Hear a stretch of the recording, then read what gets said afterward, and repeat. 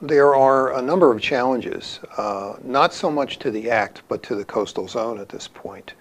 Uh, the original act prohibited heavy industry in the coastal zone, and the coastal zone is actually a strip of land about two miles wide that runs down the uh, shores of Delaware Bay and around to Rehoboth and covers the inland bays as well.